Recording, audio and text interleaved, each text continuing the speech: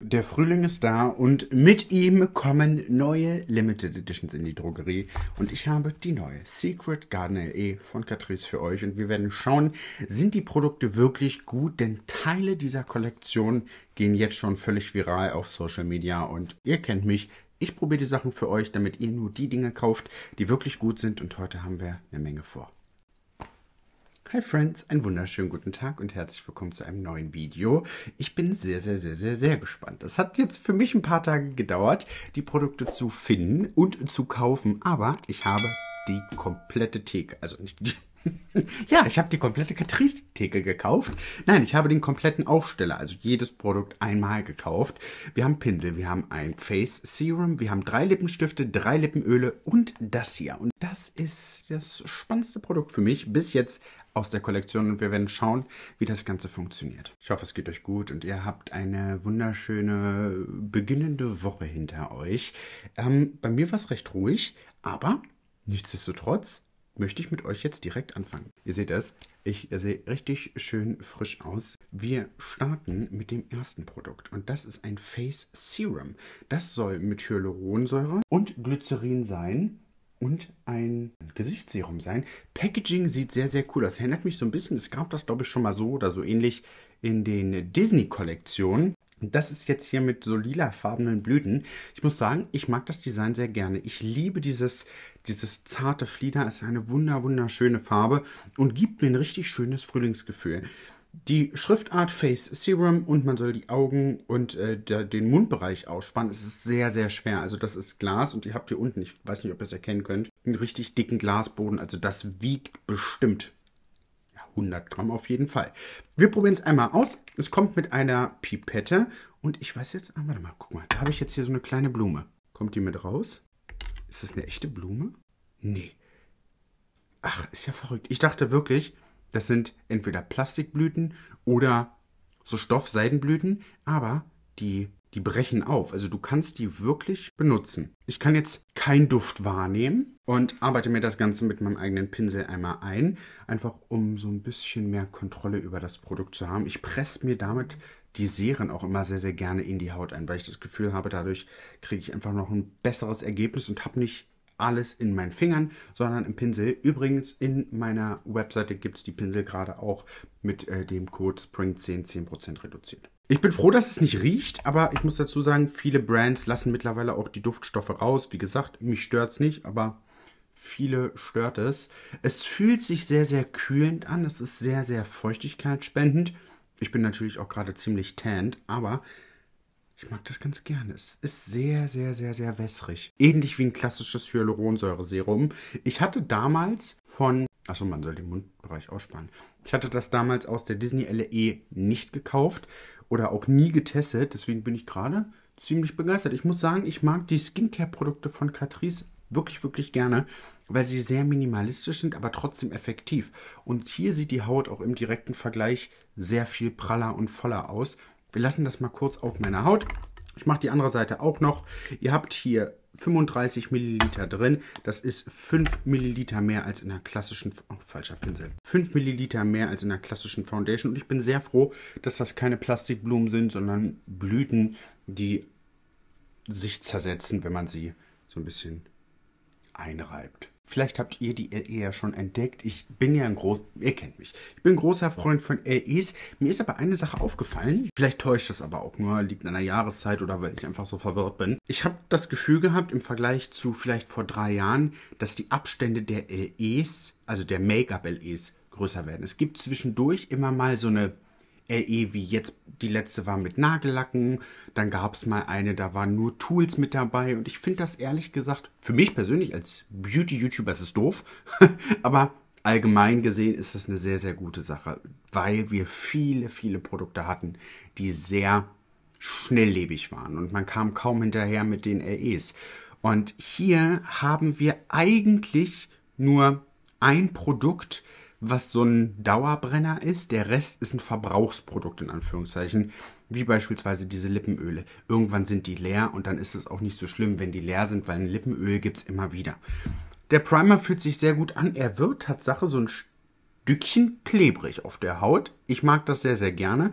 Deswegen würde ich jetzt einmal kurz ein bisschen Foundation drauf machen und wollte dafür aber diesen Pinsel hier benutzen. Den gab es nämlich auch in der EE. Das ist der Limited Edition Secret Garden Blush und Highlighter Brush Under the Rose. Der sieht einmal so aus, fühlt sich sehr gut an. Dieser, dieser Blumenprint fühlt sich an wie, wie Kunstleder, hat auch so eine leichte Lederoptik. Ich, also er fühlt sich wirklich sehr, sehr gut an.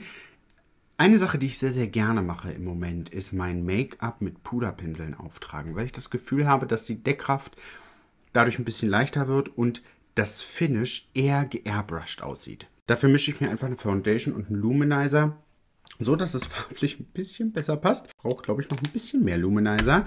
Ich habe natürlich ein bisschen mit dem Self-Tan gestern übertrieben, aber das ist okay. Ja, so sieht das passend aus. Das Schöne an dem Primer ist, dass er auf der Haut wirklich wie so ein, wie so ein Wet Film hinterlässt. Erinnert mich so ein bisschen an diesen Nabla Primer vom Finish. Und ich arbeite mir jetzt einfach mal die Foundation mit diesem Pinsel ein. Und ich muss sagen, ja, das nimmt natürlich so ein bisschen Deckkraft raus, aber es sieht dadurch viel, viel, viel, viel leichter aus. Und ihr habt nicht so viel Druck drauf. Dadurch habt ihr einfach eine gleichmäßige Abgabe vom Produkt. Gefällt mir sehr, sehr gut. Ich würde jetzt nicht so einen großen Puderpinsel nehmen, sondern schon ein bisschen was kleineres mit ein bisschen kürzeren Pinselhaaren. Dadurch habt ihr einfach ein viel, viel besseres Ergebnis und die Oberfläche sollte ein bisschen gerade abgeschnitten sein, so wie hier. Und im Anschluss gehe ich einfach mit einem Schwamm über mein Gesicht, passend zu der Kollektion. Falls ihr hier neu seid und euch für Limited Editions aus der Drogerie oder generell Make-up aus der Drogerie interessiert, abonniert unbedingt den Kanal. Ich lade dreimal die Woche hoch, seit fast fünf Jahren Dreimal die Woche mindestens. Und ich würde mich freuen, wenn ihr einfach zur Familie dazugehören würdet. So seht ihr jetzt das Finish auch nochmal. Es sieht sehr, sehr natürlich aus. Eine Sache ist mir aufgefallen von diesem Primer. Wenn du eine Blüte hast, die du nicht richtig eingearbeitet hast, dann, dann klumpt natürlich das Make-up da. Nimmst du einfach weg, arbeitest du noch ein bisschen ein und dann hast ein sehr, sehr schönes Ergebnis. Mag ich sehr gerne den Primer. Ist halt auch so ein Hybrid-Ding zwischen Primer und Skincare. Finde ich immer, ehrlich gesagt, ganz schön. Wir haben das Highlight-Produkt aus der Kollektion. Und als ich das gesehen habe, dachte ich, das ist so eine Puderpalette. Ist es nicht. Das ist die Catrice Limited Edition Secret Garden Face and Cheek Palette. Garden of Dream. Kommt auch hier in so einem schönen fliederfarbenen Ton. Und das sind alles Cremeprodukte. Das sieht sehr, sehr, sehr, sehr schön aus. Wir haben einen Blush, zwei verschiedene Highlighter und einen Bronzer. Ich habe das schon bei einer Instagram-Kollegin gesehen und das sah ganz, ganz, ganz, ganz toll aus bei ihr. Und deswegen probiere ich das einmal aus. Ich starte mit... Nee, der ist zu nass, der Pinsel.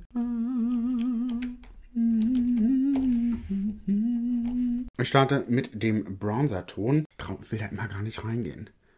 Uh, sehr, sehr, sehr, sehr cremig. Wow. Ich gehe hier einmal rein könnte mir vorstellen, dass es schon zu viel ist. Und arbeite mir das einfach mal hier hin. Und es ist sehr pigmentiert. Sehr, sehr cremig, sehr, sehr wet auf der Haut. Nehme mal einen Schwamm. Mit dem Schwamm gefällt es mir fast noch besser. Dadurch ist es ein bisschen leichter. Das ist ein sehr, sehr warmer Ton, das äh, muss ich dazu sagen. Also ich, ich swatche mal vielleicht nicht auf meinem Gesicht, sondern auf meiner Hand.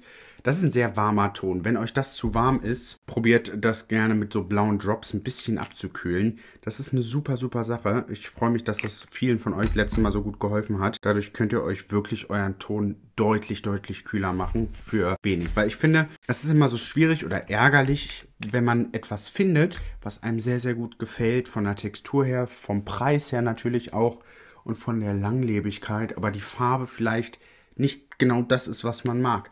Ich finde das als Bronzer wunderschön, ich kann mir den aber auch sehr, sehr, sehr, sehr gut als Konterprodukt vorstellen und mit einem kleinen Tropfen Blau wird das Ganze deutlich, deutlich kühler. Ich habe neulich dazu ein Video gemacht, ich verlinke euch das mal hier. Das ist auch verlinkt. Okay, Bronzer, mega. Ich nehme denselben Schwamm jetzt und gehe direkt in den Blush. Der ist von der Textur her nicht ganz so creamy, also ist auch creamy, aber nicht so nass wie der Blush, äh, der Bronzer-Ton. Ist ein sehr, sehr intensiver Ton, deswegen bin ich jetzt mal ein bisschen vorsichtiger und nehme auch die Bronzer-Seite. Dadurch habe ich so ein bisschen Bronzer noch mit drauf und stempel das jetzt, ein bisschen geht noch, und stempel das jetzt mal hier noch so ein bisschen hin. Okay, es ist sehr pigmentiert, aber auch hier ist ganz verrückt. Die Textur ist super, super weich. Ist auch mit Öl. Die Kombination, ne, der Blush ist ein bisschen matter als der Bronzer, passt farblich, wenn man ihn aber so ein bisschen mischt, sehr, sehr gut. Also ihr seht das, das geht schon fast jetzt in diese orangene Richtung. Sehr, sehr gut für den Frühling. Bisschen hier auf die Stirn, dann sehe ich aus, als hätte ich einen kleinen Sonnenbrand. Mag ich sehr, sehr, sehr, sehr gerne. Ich trage jetzt erstmal kurz ein bisschen Concealer auf, bevor ich den Highlighter auftrage. First Impression von dieser Kombination her aber wirklich sehr, sehr gut. Also es hat sich sehr gleichmäßig auf der Haut verteilen lassen. Es sieht sehr frisch auf der Haut aus. Was ich mit sowas halt immer gerne mache, ist, wenn ich mein Make-up schon ein bisschen abgepudert habe, bin ich vorsichtig. Ich habe ja jetzt hier noch so ein bisschen Rest am Schwamm und kann dann leicht drüber gehen. Dann gebe ich noch mal ein bisschen Feuchtigkeit drüber. Das mache ich kurz nachdem ich Setting Spray aufgetragen habe und es schon kurz ein bisschen eingezogen ist, dass es nicht mehr nass ist, aber noch feucht genug, dass man wieder mit einem Cremeprodukt draufgehen kann. Dann sieht die ganze Haut einfach allgemein sehr viel frischer aus. Und jetzt seht ihr das Ergebnis auch ein bisschen besser, wenn das unter den Augen ein bisschen heller ist. Ich liebe das. Also dieser Bronzer gefällt mir sehr, sehr gut. Bei diesen Highlightern bin ich immer so ein bisschen skeptisch. Die sind auch sehr, sehr cremig. Wir haben einen goldenen und einen ja, ein bisschen dunkleren. Man sieht doch, man sieht einen leichten Unterschied. Da weiß ich aber immer ehrlich gesagt nicht so, wie ich den auftragen soll. Ich nehme jetzt auch einfach den Schwamm hier. Oh ja. Und blende den da einfach mit rein. Den kann ich mir auch gut vorstellen. Oh ja, warte mal leicht unter die Augen, ganz, ganz leicht. Also wirklich nur mit dem Rest. Oder in die Foundation mit rein und dadurch reflektiert das unter den Augen natürlich nochmal richtig, richtig krass. Der ist ein bisschen gröber an Highlight, ne? aber trotzdem cremig unter den Augenbrauen. Ja, also ich, Tatsache, muss ich dazu sagen, ich bin offen mit euch, ich bin kein Freund von creamy Highlightern, aber von creamy Blushes und Bronzern. Ich weiß nicht warum, ich finde beim Highlighter ist es immer sehr, sehr, sehr, sehr schwierig, dass man den auch nur dort aufträgt, wo man ihn aufgetragen haben möchte. Aber jetzt, wenn ich das Ganze sette, sieht das Ganze richtig. Sieht ein bisschen aus wie Dieter Bohlen heute. Hier an den Augen kann ich noch ein bisschen highlighten. Ich sehe wirklich aus, als wäre ich aus dem Urlaub, ne? Das ist, das ist krass, was so ein bisschen Selbstbräuner macht. Wir nehmen das Ganze einmal weg. Mit dem restlichen Puder am Pinsel fixiere ich den Rest meines Make-ups und muss sagen, dass mir die Base wahnsinnig gut gefällt heute. Also, sie ist natürlich tanned, sie ist creamy, die Wangen sehen sehr, sehr frisch aus. Ich glaube, dass man die Produkte wirklich gut kombinieren kann mit jeder Foundation. Der Highlighter, wie gesagt, ist mir persönlich ein bisschen zu grob, ist aber so ein persönliches Ding. Ne? Ich bin ja mittlerweile auf Minimal-Highlight oder Blinding und eine besondere Textur. Ja, schon nice. Weiter geht es mit den Lippen und da gibt es zwei verschiedene Kategorien. Wir haben einmal Lippenstifte, die kommen in einem Papierpackaging in drei verschiedenen Farben. Wir haben einen Ton, der ist so ein bisschen nudiger, ein bisschen natürlicher. Das ist die Farbe Hidden Kiss. Ich mag das Pressing von dem Lippenstift sehr gerne, so ein bisschen geometrisch. Hidden Kiss sieht einmal so aus, ist so ein schöner Rosenholzton. Wir haben ein etwas leuchtenderes Pink, Kiss and Tell. Im Vergleich seht ihr den Unterschied, glaube ich, ein bisschen besser. Oh ja. Und wir haben 03 Little Secret. Little Secret geht so ein bisschen in die Fuchsia-Richtung. Das sind schon sehr intensive Lippenstifttöne.